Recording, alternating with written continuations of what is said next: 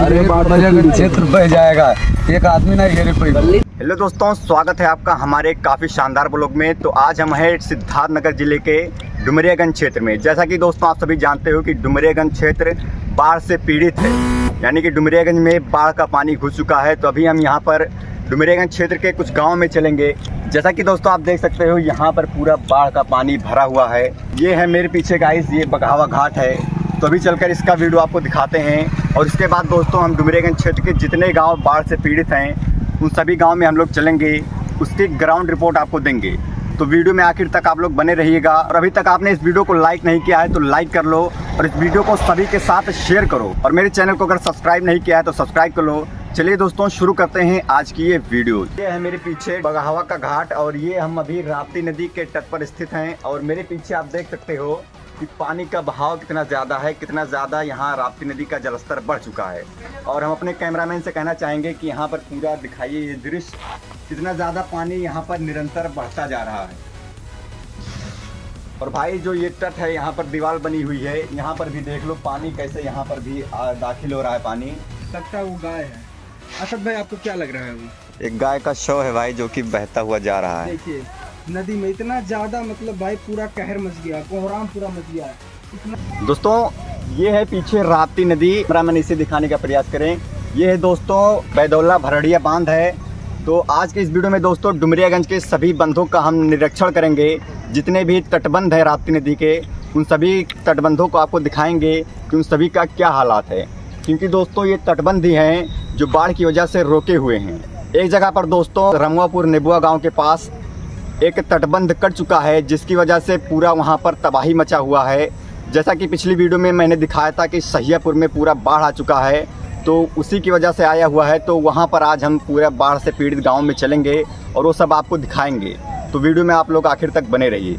देखिए दोस्तों, अभी हम लोग मौजूद हैं बैदौला भरड़िया तटबंध पर और ये पूरा बंधा आगे तक है। तो ये पूरा बंधा आप को दिखाएँगे कि यहाँ पर क्या हालात हैं यहाँ पर क्या स्थिति है चलकर आपको दिखाते हैं। और बंधे को सुरक्षित करने के लिए क्या प्रयास किए जा रहे हैं वो भी सब आपको दिखाएँगे। दोस्तों अभी मैं हूँ बैदौला भरड़िया बाँध पर और ये पूरा बैदौला गढ़ है जैसा कि आप देख सकते हो और ये है तटबंध। बोरे में गाइस बालू भर का सब रखा हुआ है ताकि ये बंद कटे ना। बहुत ही अच्छा काम है चाचा ये। अच्छा मतलब हाँ। कभी कटा है बाबा जी ये अरे भैया जब कटत है हाँ। तब ज़रूरत पड़त है। झगड़ मानी कबो कटा है ही बंधवा। ना नहीं कबो कटा ना है लेकिन जब कट जाए तो ज़रूरत पड़ेगी। हाँ हाँ तो उससे पहले मतलब बिल्कुल पहले तो वो बहुत अच्छी बात। हाँ तो इन नाते का बनाया जाता है वो बनाया जाता है वो बनाए जाते हैं। ये राप्ती नदी का बंधा है। अगर ये कट जाएगा पूरा डुमरियागंज क्षेत्र अरे पीड़ित क्षेत्र बह जाएगा। एक आदमी ना घेरे कोई हम्म। अगर जो ये कर गया तो। बाढ़ में। ऊंच नहीं है देख रहे हो कितना ऊँचा है? हाँ, हाँ। पानी कितना ऊँचा है ये सब जो पानी भरा हुआ है ये डुमरियागंज क्षेत्र में घुस जाएगा। हाँ। जितना ये बात है। ये हाँ। इसके लिए पहले से ही चलिए आप लोग बहुत अच्छा काम कर रहे हैं। बहुत बहुत धन्यवाद बहुत अच्छा लगा चाचा जी आप लोगों से मिलकर। तो दोस्तों अभी हम लोग बघावा के घाट से आ चुके हैं राप्ती नदी पर डुमरियागंज की राप्ती नदी पर जैसा कि आप लोग देख सकते हो। तो यहाँ का क्या अपडेट है अभी आपके साथ शेयर करेंगे। और हम कैमरामैन से चाहेंगे वो पूरा पानी दिखा दे। भाई, आज का क्या अपडेट है? कैसा पानी सब भरा हुआ है? तो यही भाई साहब, पिछली वीडियो में भी हमने दिखाया था। तो इसके बाद हम लोग चलेंगे अभी तटबंध का, जैसे कि निरीक्षण कर रहे हैं हम लोग। तो अभी हम लोग चलेंगे इसके बाद माली मैनहा में और डुमरियागंज के पश्चिम साइड में जो गाँव है, जो कि एक गाँव पूरा बाढ़ से पीड़ित हो चुका है तो उस गाँव में भी चलेंगे। अभी हम लोग ग्राउंड रिपोर्ट लेंगे।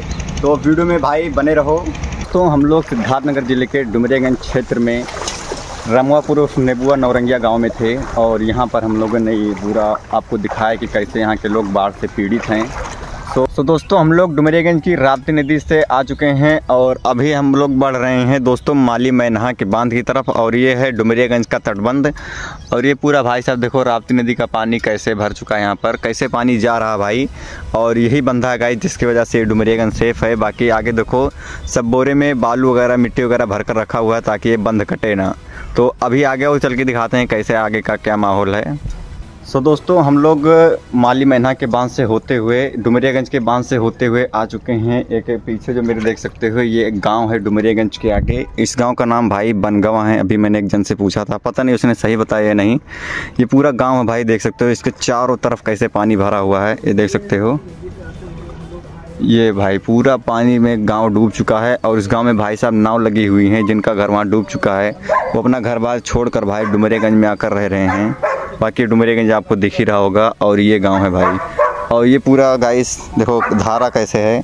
हम लोग गाइस इतना पूरा पानी में, गाढ़ भर पानी में चल के वीडियो बना के आ रहे हैं। बाकी यहाँ पर धारा बहुत तेज़ है। इस धार में खड़े होकर हम वीडियो बना रहे हैं। वो आपको वहाँ की रिपोर्ट देते हैं कि कैसे वहाँ के लोग रह रहे हैं। कुछ लोग दिख रहे हैं उस गाँव में।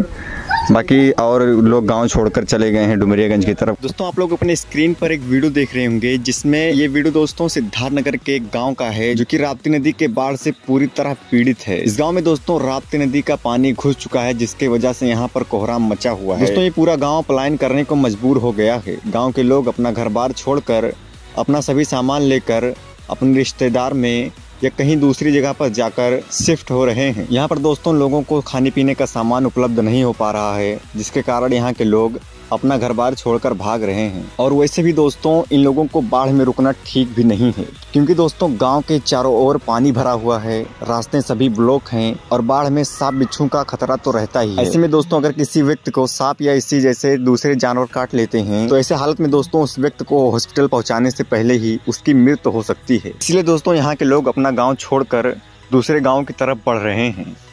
और दोस्तों, आप लोग ये वीडियो देखिए। इसमें एक दूल्हा और कुछ बाराती हैं। जो कि नाव से बारात जा रहे हैं। क्योंकि दोस्तों इसी बीच बहुत ज़्यादा शादियाँ भी थी जिसके कारण शादियाँ टाली नहीं जा सकती। हालात ऐसे हो गए दोस्तों कि दूल्हे एवं बारातियों को नाव से जाना पड़ा। लेकिन मैंने ऐसा कभी नहीं सोचा मेरे साथ ऐसा होगा।